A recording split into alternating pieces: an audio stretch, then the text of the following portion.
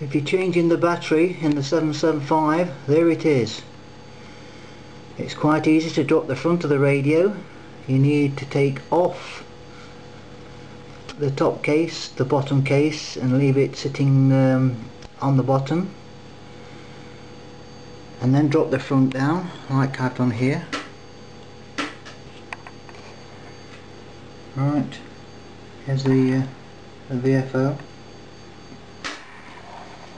be careful on that um, that one there because it just tends to pull. It's very short pull from the right. I've had to just poke that in a little bit. But this is what you'll see. That's to DS2 there.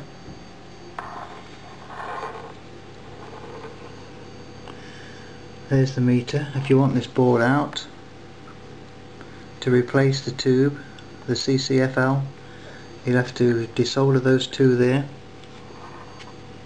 And then the board just drops out.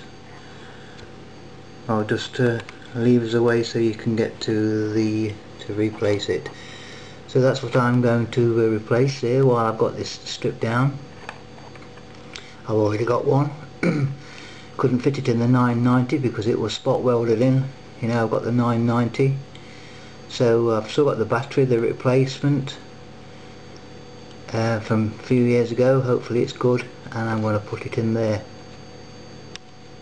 It may be a good battery but then again why I can see it and it's easy to get to I'm going to put a new one in there.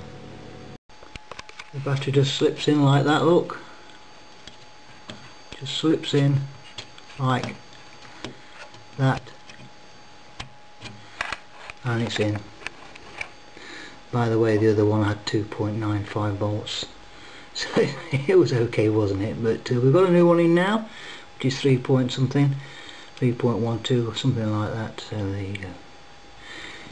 It's in for another five years. Okay.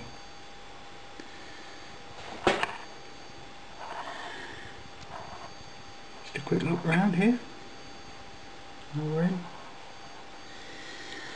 There's your um, encoder there, look, if you ever have to replace it, this one seems fine at the moment.